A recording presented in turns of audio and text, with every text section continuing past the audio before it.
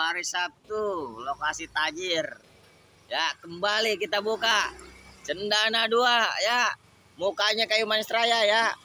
Nah, warga dari Mojokerto ya. Mojokerto Raya. Rapatannya langsung kita tutup ya. Jalan C, jalan G. Ya, insya Allah tajir melintir. Ya, ini lokasinya ya.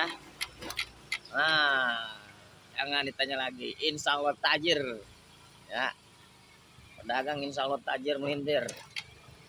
Ya, pokoknya rame di sini. Hari Sabtu, tanggal 27. Pokoknya sing tajir. Apik-apik mantap pokoknya. Lokasi jangan diragukan kembali ya. Nah, ini muka kayu manis raya ya. Nah, ini muka kayu manis raya nih. Ya. Seberangnya dari warga kayu manis 7.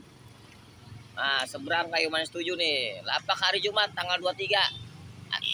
Hari Jumat tanggal 3 kemarin ya. Tanggal 3 ya ntar nih. Tanggal 3 ntar akan kita buka nih hari Jumatnya.